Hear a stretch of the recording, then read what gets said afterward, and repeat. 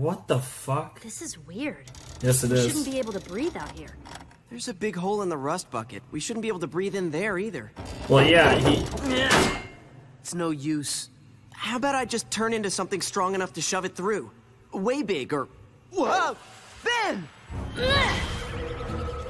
Oh wow, you actually were able to reach. You okay? That was weird. I think I saw something moving in there. You have to be more careful. Paradox told us not to touch the time field. I do see something moving in there. Not some. Oh my god! Someone. I'm Ben Tennyson. What?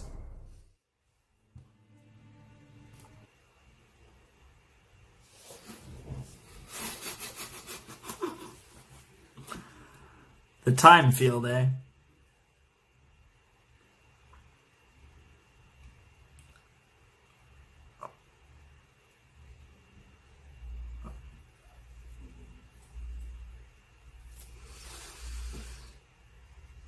Okay. That's uh that's a thing. Um I guess we're going OG after all. Um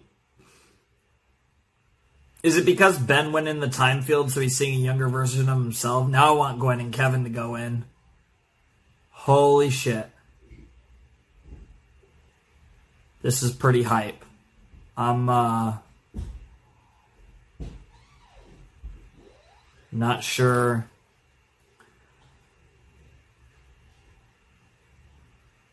Huh.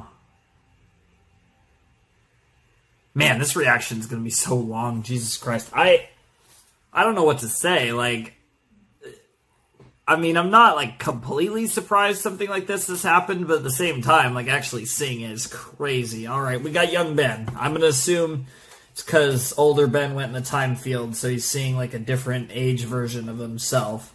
And I'm assuming that if Gwen and Kevin do it, the same thing will happen. We'll get to see either younger or older uh, Ben.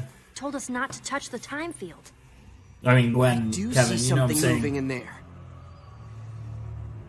Not something. Someone. The music! I'm Ben Tennyson.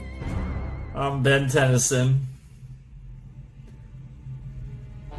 Do I know you? You look sort of familiar. Uh. Uh, first day with your new lips? Talk. Who are you? Why'd you bring me here? I can't didn't tell if that's you here. Or not. Exactly. You've got one more chance to start making sense, or I'm taking you apart. Calm down. This is complicated. There's been some sort of time travel accident. That's how you want to play it? Fine. Ugh. Wow. Just let me try and explain. Don't make me hurt you, okay? God damn! You little. Watch your language, Tennyson. He's just a kid.